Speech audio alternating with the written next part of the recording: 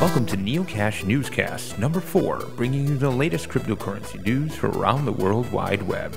Be sure to click the subscribe button and be one of the first to receive cutting edge news.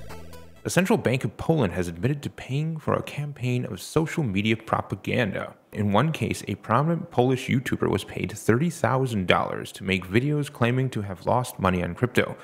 The Central Bank of Poland, working with the Polish Financial Supervision Authority, has no problem using fraud to dissuade people from looking into crypto.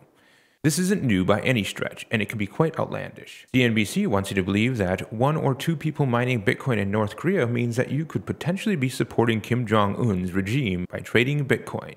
If you're trading Bitcoin, depending on where you are, there's a chance you might be funding Kim Jong un's regime in North Korea.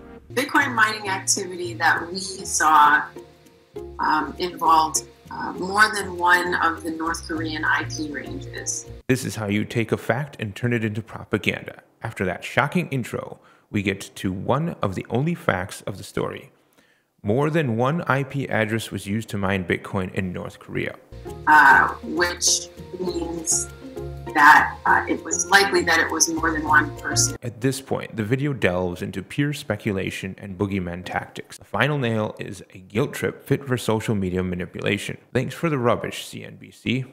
More recently, Venezuela has been attacking Bitcoin on state run TV.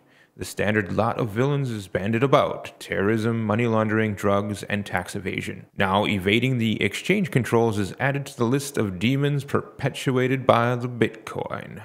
Quote, it was recently reported that many people have been using Bitcoin, an alternative to evade policies on foreign exchange by the Bolivarian government to ensure proper development of the economy, unquote. And finally, we take a look at some old timey propaganda.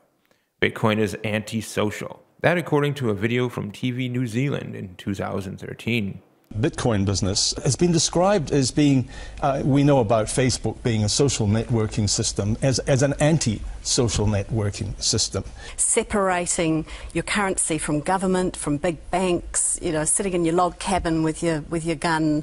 All of a sudden, you don't have schools and hospitals and roads, and it all gets a bit hard. It's back. Well, that escalated quickly. It just goes to show you need to be mindful about what any media outlet is going to say about crypto. Thanks for watching. Neocash Radio is on vacation this week. We'll be back in March. Be sure to subscribe, like, and share these videos. For Neocash Newscast, I'm JJ. May the trades be ever in your favor.